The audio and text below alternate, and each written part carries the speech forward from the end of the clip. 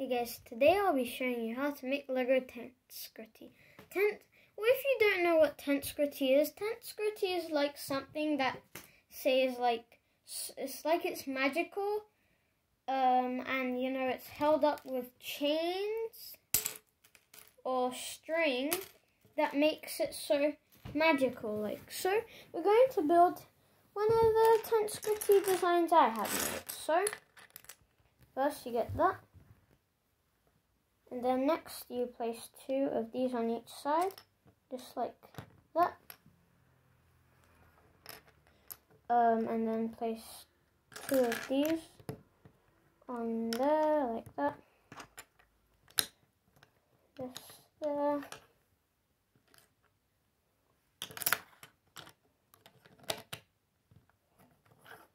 And then this over here, just like that. And next we get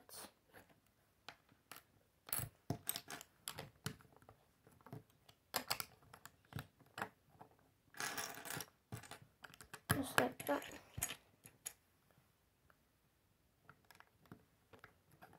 Like that and then add seven of these, just like that. This is um three, five, and seven just like that and then place this on there. Next we get two of these. Put that there, this into here, this over here, a tile on top like that. And now you'd have to do the exact same thing, but here's the twist. Um, so we can just quickly do the exact same thing. So the twist is we, we need to cover that and instead of doing 7, we need to do 8. So 2 here, 6 there equals 8. Then place this onto here. This here, this over here. This here.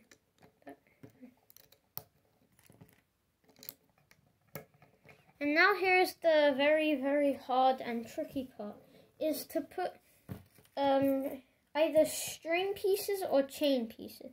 You need two of these long ones, but I only have one, so I just doubled that up. So, um, yeah, let's do it. So, you need to get this like that, hold it in that position, put the chain, put the chain on like that and then connect it over here. There. Um, let me just connect it. And like that. Just straighten it up like that. And then like that. And then place this like uh, healthy. Um,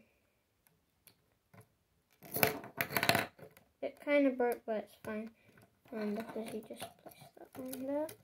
So this is how it would look, and then you place this on.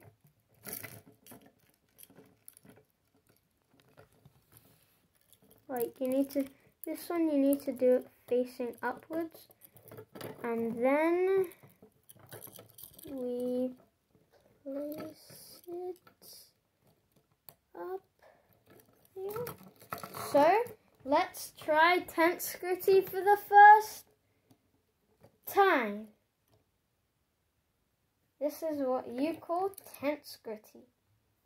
Magic. The only reason why it looks kind of like wiggly woggly is because, you know, you need exactly that two of them, but, you know, because I only have one I made that, that's why it looks a bit wonky. Um, but, yeah, it looks pretty nice. You need two of these, like, one piece big chains, not three of these, otherwise it'll look wonky. So, this is how it would look like if you had two of that the chains but if you only had one of these chains or actually none it'll look like that oops uh like that but it's pretty nice pretty nice